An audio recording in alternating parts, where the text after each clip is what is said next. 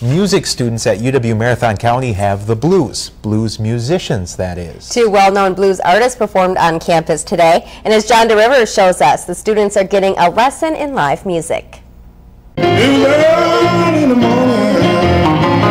Watching Marty Sammon and Doug McDonald perform is not your average day in school.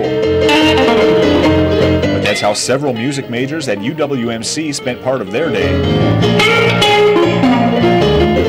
To professionals that can do it and see it's possible to make a living and play and that you can enjoy it.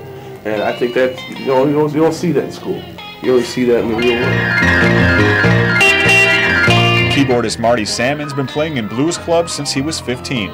He's played with legendary artists like Eric Clapton, Carlos Santana, and the Rolling Stones. Guitarist Doug McDonald's influences go back a little farther. I'm from the old school type of thing, you know? so I knew about all those guys, Lightning Hopkins, T-Bone Walker, B.B. Albert, Earl Hooker, all these guys. McDonald is known as one of the best rhythm guitar players in the blues music scene. Both Sammon and McDonald are currently in Wausau touring with blues legend Buddy Guy.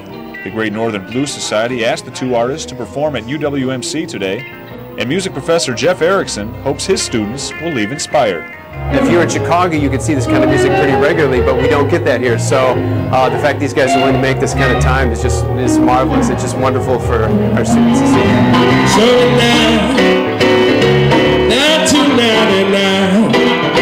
In Wausau, John DeRivers, News Channel 7.